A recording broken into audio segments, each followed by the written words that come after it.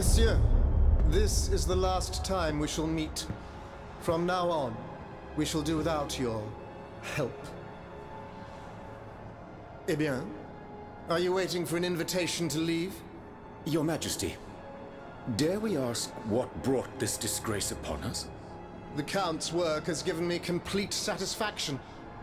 Your essences and optics are no longer of any use to us. Rejoice, learned scholars. You may now dedicate yourselves to the cause of the Vanupier. Just a moment. Are we being rebuked for our actions at the Estates General? But your majesty, you are the one who convened this assembly. Leave here at once, monsieur, before you say anything you might regret.